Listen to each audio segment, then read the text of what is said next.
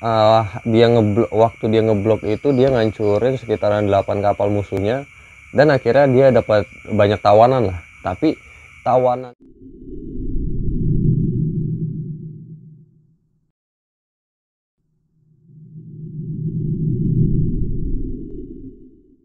Assalamualaikum warahmatullahi wabarakatuh. Balik lagi sama gua Ryan di Orang Keren Sebelum kita mulai gue mau minta maaf dulu Karena kemarin itu video tentang si jenggot merah. Gue salah nyebutin.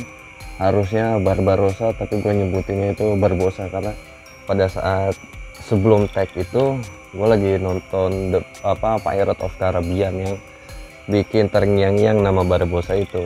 Tapi uh, sekarang gua mau uh, ngebahas itu masih seputaran bajak laut. Kemarin si jenggot merah sekarang gue mau ngebahas si jenggot hitam blackbeard oke okay, nggak lama-lama cek this out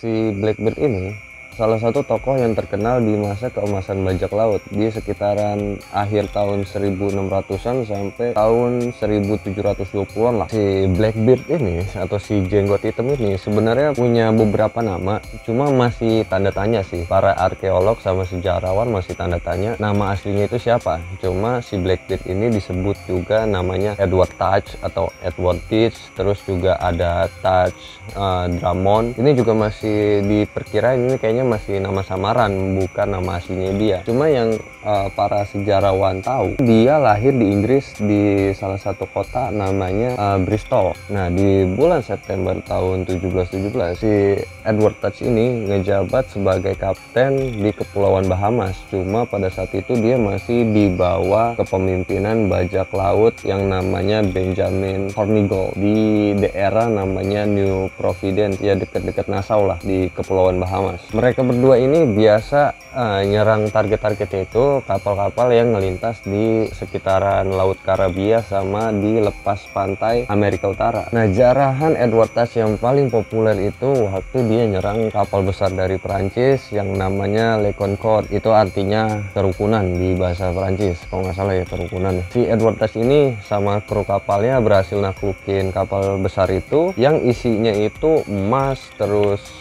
koin-koin berharga lah duit koin pada saat itu kan. Terus ada permata juga sama ada beberapa barang-barang berharga dari pos perdagangan Afrika ke Amerika.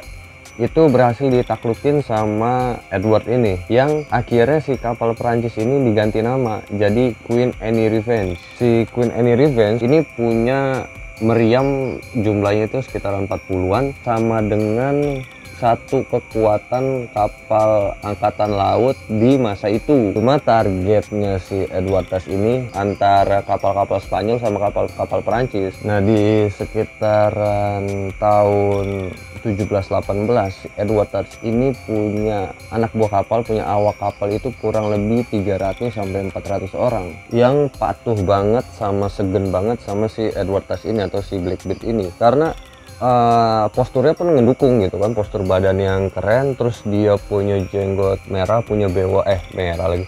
Punya bewok hitam yang panjang terus diikat sama pita-pita warna hitam yang bikin eh, orang-orang uh, segen lah ngeliat dia gitu kan. Nah menurut saksi si Edward Tess ini bener-bener uh, punya disiplin yang ketat banget. Ke kru kapalnya semua ke kru kapalnya dia punya disiplin yang ketat. Jadi sebenarnya dia tuh sayang juga sama anak buah kapalnya itu. Sama saksi-saksi juga nyebutin kalau si Edward Touch ini punya bendera bendera kebesaran bajak laut itulah. Itu bentuknya itu tengkorak megang jam pasir terus sama megang pedang. Yang si pedangnya ini nusuk ke jantung. Itu punya makna kalau misalnya kapal targetnya itu itu pasti kehabisan waktu waktu uh, pas ngelawan Edward Touch ini. Jadi kalau mereka nggak nyerah ya artinya mereka bakal mati atau kapalnya bakal ditenggelamin sama Blackbeard ini. Nah di sekitaran bulan Maret tahun 1718 si Blackbeard ini si Edward Touch ini pergi ke Teluk Honduras. Nah di Teluk Honduras ini dia ngalahin salah satu kapal namanya kapalnya itu Revenge punya State Bonnet ya salah satu kapten juga lah bajak laut juga. Dia itu ngambil kapal revenge-nya State Bonnet sama ngambil alih dua kapal lainnya gitu yang ngikuti State Bonnet. Dia tetap ngelakuin penjarahan di lepas pantai apa namanya di lepas pantai Amerika Utara sama di Laut Karibia itu sampai sekitaran bulan April tahun 1718 nah si Blackbeard ini si Edward Touch ini punya anak buah punya tangan kanan lah. Namanya Israel Hans dia uh, ditugasin sama Edward Touch buat komandoin atau jadi kapten di salah satu kapalnya itu. Nama kapal itu yang kecil ini namanya Avenger. Nah kaptennya itu Israel Hans tangan kanannya dari Edward Touch. Nah di bulan Mei tahun 1718 si Edward Touch ini berhasil ngeblokade tadi Charlestown yang gue bilang di Carolina Selatan itu selama kurang lebih dua minggu. Sama uh, dia ngeblok waktu dia ngeblok itu dia ngancurin sekitaran 8 kapal musuhnya dan akhirnya dia dapat banyak tawanan lah. Tapi tawanannya ini dibebasin sama Edward Hart dibebasin tanpa dilukain sama sekali di manusiawi banget lah Edward Hart ini cuma dia minta tebusan itu obat-obatan sama logistik-logistik buat uh, semua kru kapal ya. Karena di waktu itu banyak kru kapalnya yang kena penyakit sipilis. Nah, abis dia ngeblok tadi Charleston di Caroline Selatan itu, dia pergi ke nama tempatnya itu Beaufort di Caroline juga, Caroline Utara kalau salah deh. Dia pergi ke situ, cuma anehnya dia itu ninggalin Queen Anne Revenge ini si kapal utamanya dia itu kapal yang gede itu yang dia bawa itu cuma separoh dari muatan doang sisanya dibiarin aja kapalnya ditinggalin sampai kapal itu jadi bangke. Nah uh, sekitaran tahun 9697 itu kapalnya baru ditemuin bangke dari Queen Anne Revenge ini baru ditemuin. Dengan bukti itu ada uh, meriam yang jumlahnya 40 gitu kan. Terus ada beberapa hasil jarahan dari si Edward Touch ini.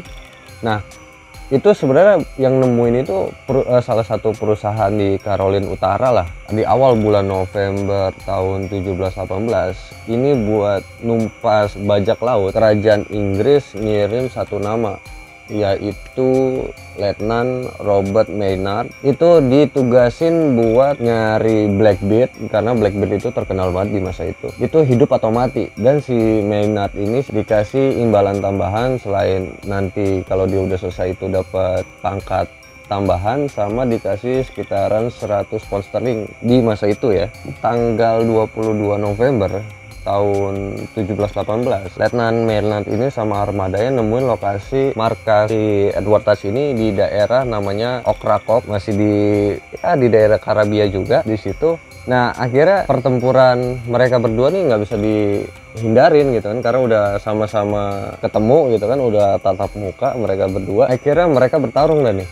Uh, pertarungan yang lumayan sengit sampai si Maynard ini lumayan kewalahan lawan kru krustianya Edward Touch ini si Blackbeard ini dan akhirnya si Maynard ini Lieutenant Maynard ini butuh 5 tembakan sama sekitaran 20 tebasan pedang buat ngelumpuhin Edward Touch. Karena saking hebatnya lah dia, dia di masa itu akhirnya pas udah lumpuh baru dieksekusi mati di situ juga. Ini menurut uh, jurnalnya Lieutenant Maynard ini di tanggal 3 Januari tahun 1719 nah karena kapten kapal yang udah dieksekusi mati di situ juga gitu kan. Ya eksekusinya seperti apa gue nggak mau jelasin takutnya nanti dolar kuning lagi. Kru kapalnya ditangkap dan diadilin uh, dia sama kerajaan Inggris. Itu semuanya dihukum mati kecuali tangan kanannya Edward Tas tadi si Israel Hans uh, karena dia dapat pengampunan dari kerajaan Inggris pas dia ngasih kesaksian uh,